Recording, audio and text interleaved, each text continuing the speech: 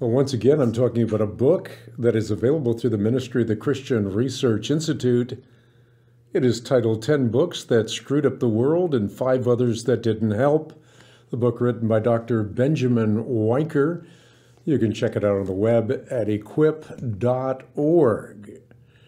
One of those books is titled The Future of an Illusion.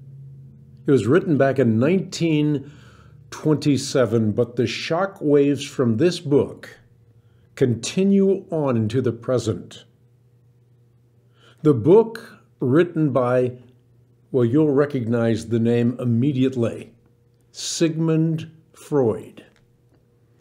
He is the oft venerated one, and he was, by his own self designation, a godless Jew and perhaps worse.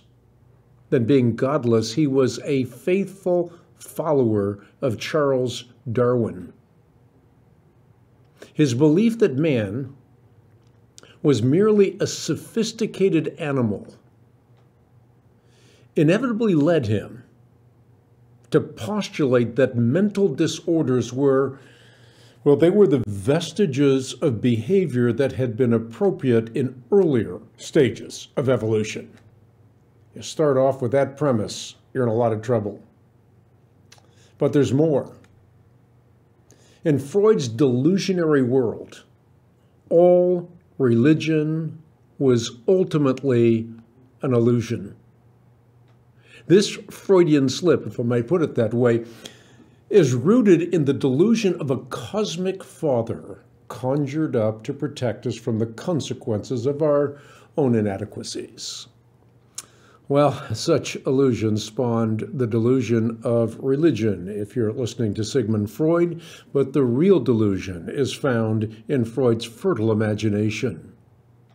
Godless Freudian misapprehensions, well, they begin with the assumption that the mother child attachment arouses sexual desires that intuitively motivate children to see fathers as sexual rivals.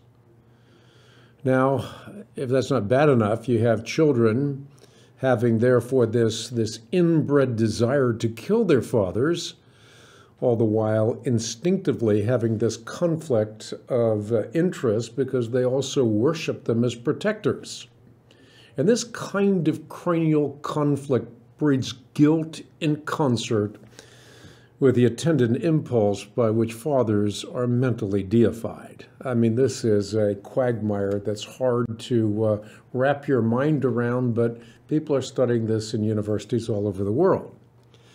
But Benjamin Wiker makes clear in 10 Books That Screwed Up the World that Freud's rooting of religion in incest and patricide was not only an attack on religion in general, but really the essence of it was an attack on the historic Judeo Christian faith.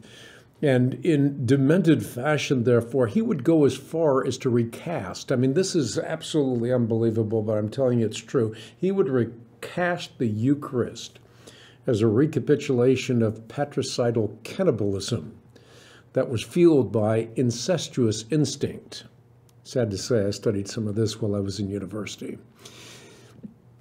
But in light of the latent incest and patricide hiding within the human psyche, the father of modern psychology had a suggestion. He said, give up on the illusion of religion, embrace scientific paradigms in place of religion, become irreligious in the truest sense of the word, and admit man's impotence in the face of an impersonal universe. That's his solution.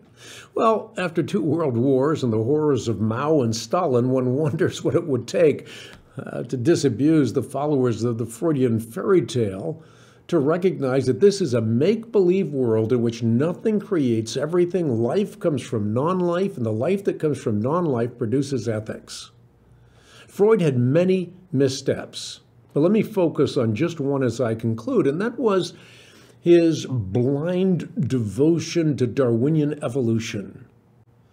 An evolutionary theory that Dr. David Berlinski rightly satirized he satirized it as the last of the great 19th century mystery religions, which has followed uh, Marxism into the nether regions. And Berlinski said, I'm quite sure that Freud, Marx, and Darwin are commiserating with one another in the dark dungeon where discarded gods gather.